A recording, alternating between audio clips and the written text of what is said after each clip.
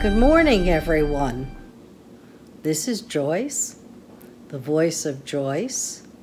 I'm recording uh, in my home, just like I guess everyone else is, and zooming around, as I call it, so I can keep busy and up to date with family and friends. And I'm going to be doing something totally different uh, next week.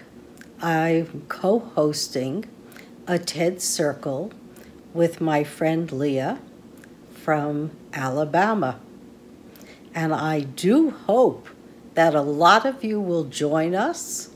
Uh, we can take at least 12 people from anywhere in the world. All I need is your email. So if you will write to the voice of Joyce at earthlink.net, uh, give me your email. We're going to be on next Thursday, April 30th at 11 o'clock in the morning for about an hour.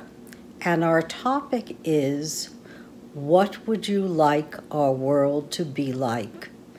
after we exit COVID 19. And we will exit it. Make no mistake. There's no question in my mind. The only question is how soon?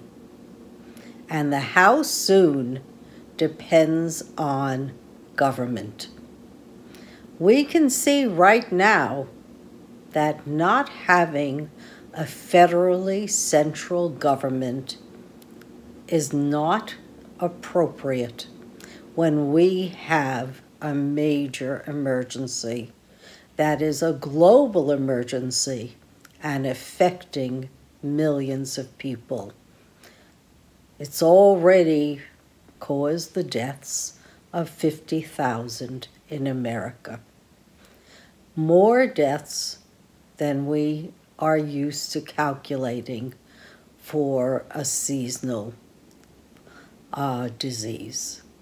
And this is not seasonal. We have no good idea about how corona will spread during the summer months. It certainly spread in Australia during the summer, and we don't know what it takes to actually contain this virus except quarantine. We wouldn't all have to be quarantined if we had massive testing. The UK is embarking on a massive testing program. According to the Gates Foundation, we could be doing massive testing from home we could be using reagent strips, just like they do for people who have diabetes or when they want to check your, uh, your urine pH. Uh, we can be doing those swabs at home. No need to go out to do it. But again, we need national provisions so that this can happen and that every lab is mobilized at once and has the reagents and the test kits. It's absolutely imperative. We're working on plasma vaccines as we speak. Around the world, 100 labs are working cooperatively. In America, we've already started our vaccines using antibodies in Seattle, Washington, uh, with the Moderna Corporation.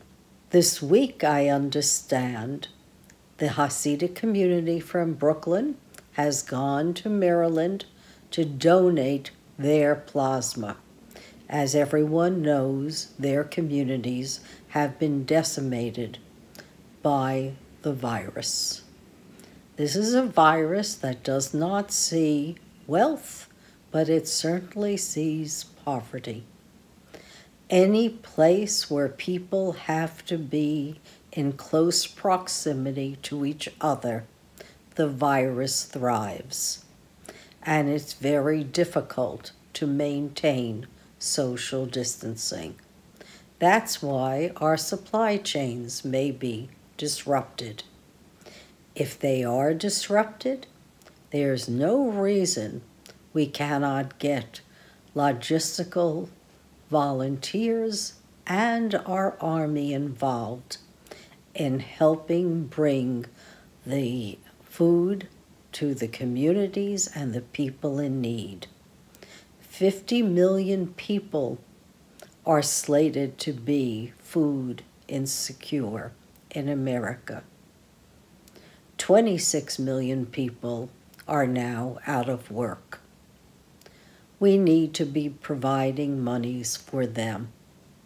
It's too bad that government did not take my qualitative easing for Americans seriously. We could have probably eschewed all of these schemes where big businesses had absolutely zero conscience. They were publicly traded corporations and they went after the small business loan money and got it. So now we have another loan program that's being signed off as I'm speaking. It's sad that so little is going to Americans, Americans who do not have enough money to put aside for three months or longer who need money and food desperately. I don't hear Trump or the GOP actually thinking about how are we going to resolve our logistical problems and get food on everyone's table. I don't see a plowing under produce or stopping production of meat and poultry or any product when people are going hungry all over our country. What's important is testing. What's important is a vaccine. And this will take some time.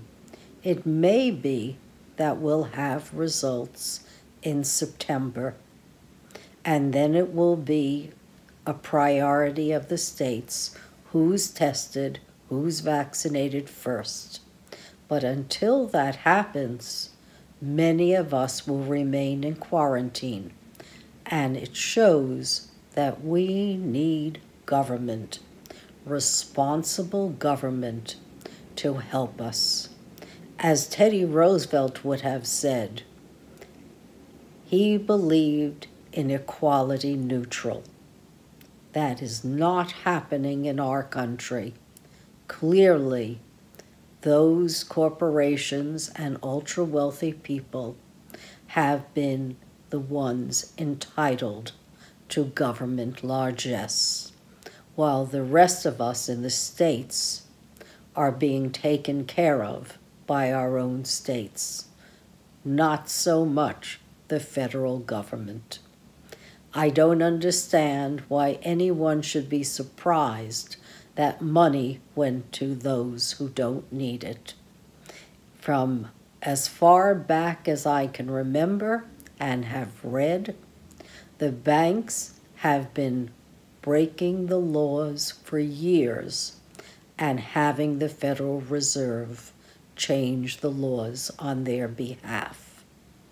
Somebody said to me, that gross domestic product has gone down.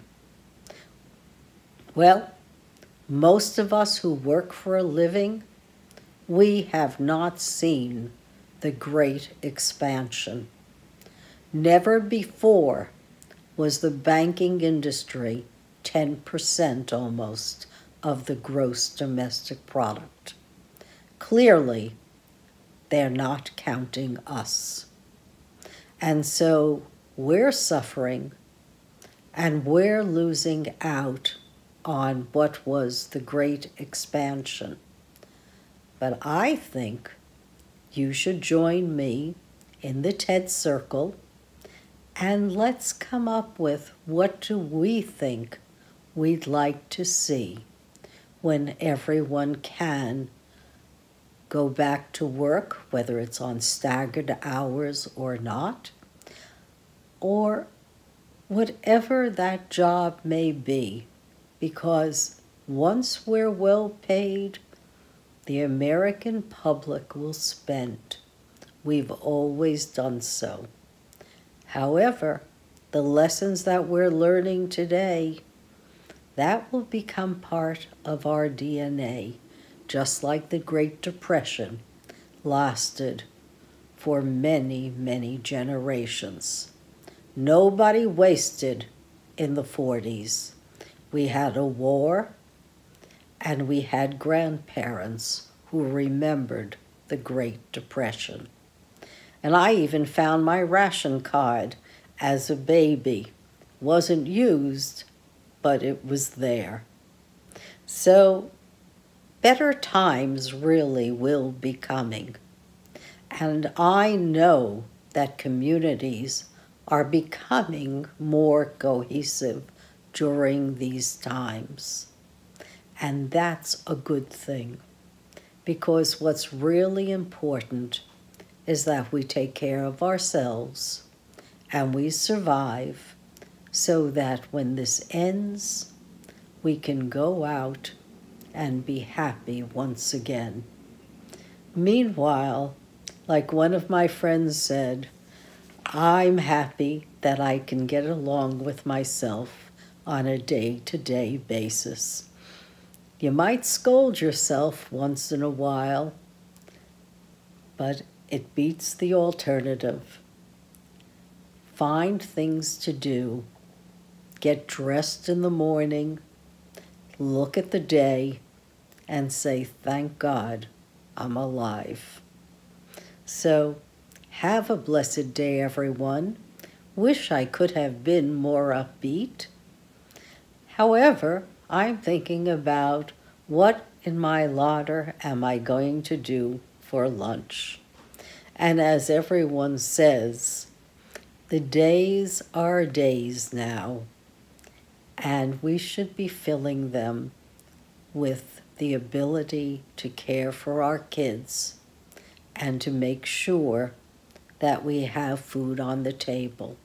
And if you don't, please make it known to your local police department, your school district, your community centers, your churches, or whoever, so that we can have a massive volunteer army, making sure that the food pantries and communities all over America are well stocked with food. I know that this is a big ask not to be uh, too upset about the economy and how it's affecting us. But I believe that in the end, there will be a global reset.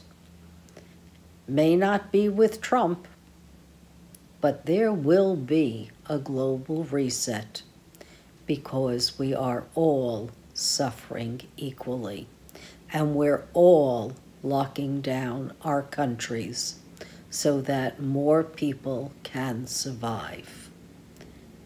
Don't think this is something that's going away. It isn't. It is coming back unless we change the way we, we live. And that means understanding that climate and pollution has played a big role in determining the virus's uh, spread. And many more viruses will be coming our way if we don't stop the carbon excess that we've created. By the way, The fossil fuel industry has been in decline for a while. They unfortunately bought into their own propaganda. They had 15 years before the coronavirus struck. Now they will indeed have to keep assets in the ground because there's nowhere to offload them. So don't worry, somehow or other, all of this will work out and we will be embracing each other again. Not for another year, perhaps, but when we do, it will have so much more meaning for all of us. Have a blessed day, everyone, and I'll see you next week. You can bet on it. Take care, and don't forget, email me about the TED Circle and joining my Zoom uh, call and be have your voices heard about what you'd like to see in the near future or far, doesn't matter. Uh, email the voice of Joyce at earthlink.net. Take care and once again and have a blessed day. Bye now.